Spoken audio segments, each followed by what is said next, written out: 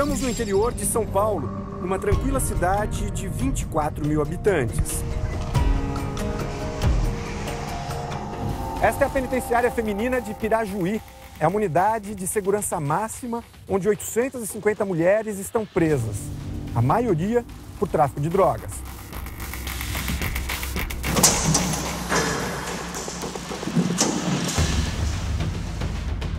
Antes de entrar, é preciso passar por um ritual obrigatório: celular, carteira e relógio. Isso é uma questão de segurança. Né? Ali atrás é o regime semiaberto, são 150 mulheres.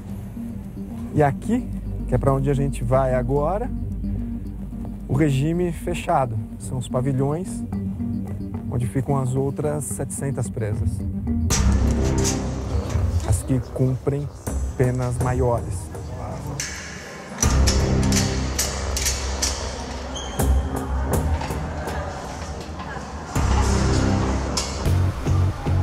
Em uma das celas, Maísa Prando se alonga.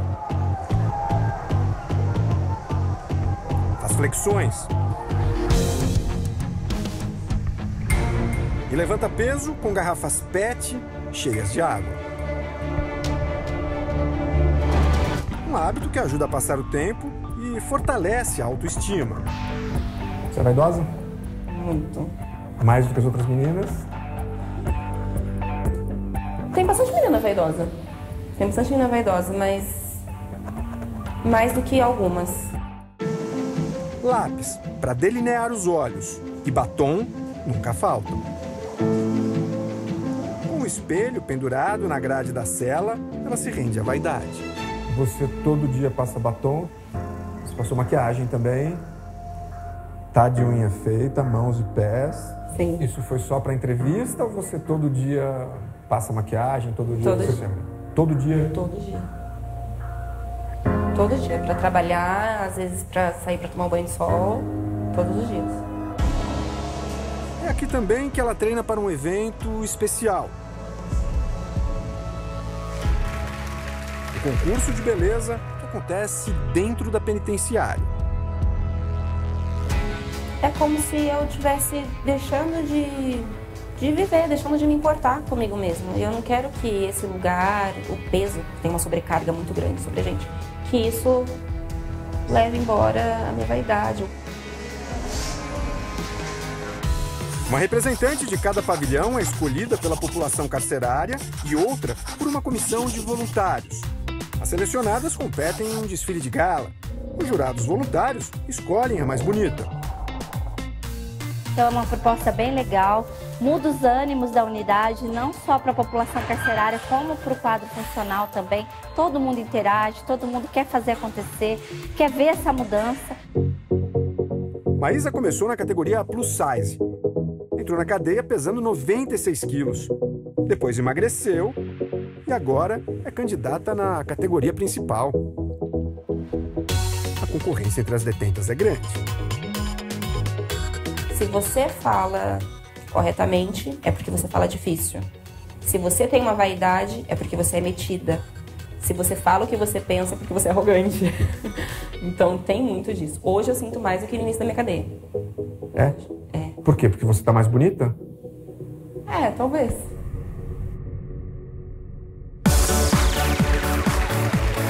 Já tem um voto garantido entre as colegas da prisão.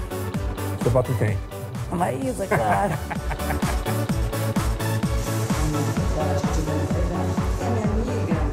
A fã de carteirinha é Eliane, mãe de Maísa. O golpe do destino colocou mãe e filha na mesma cadeia. Doeu mais quando você foi presa ou quando ela foi presa? Quando ela foi presa. Quando ela foi presa. Porque a Maísa não foi criada para esse mundo. Elas estão sempre juntas. Aqui nós duas, uma ajuda a outra. É o que deixa nós mais tranquilos, assim. Saber que tem uma para apoiar na outra, né? Uma coisa que a gente não sabia quando nós estava na rua. Foi a cadeia que aproximou vocês. Sim.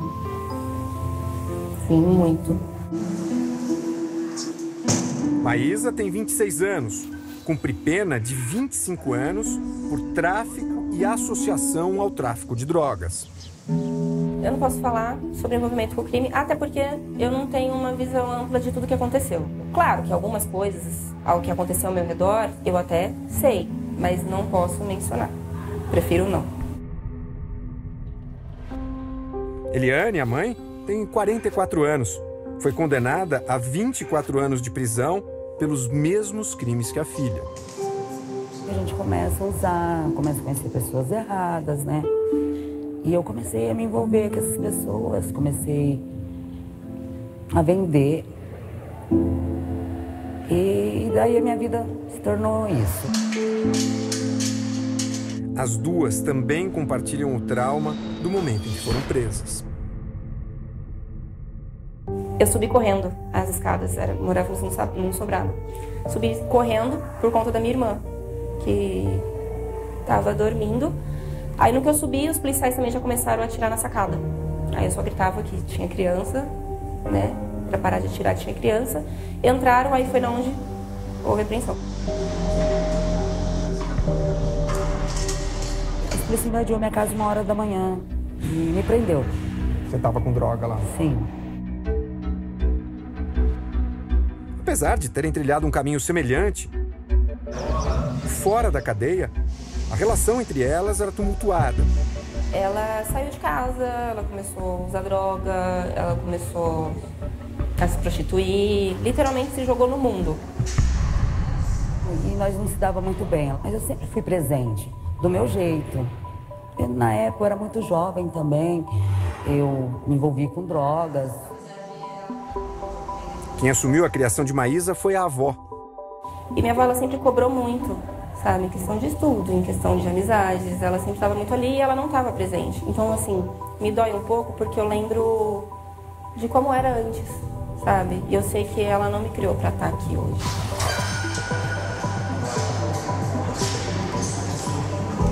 Na fase mais delicada da vida, Maísa não pôde contar com a mãe. Menos ainda com o pai. Meu pai biológico é...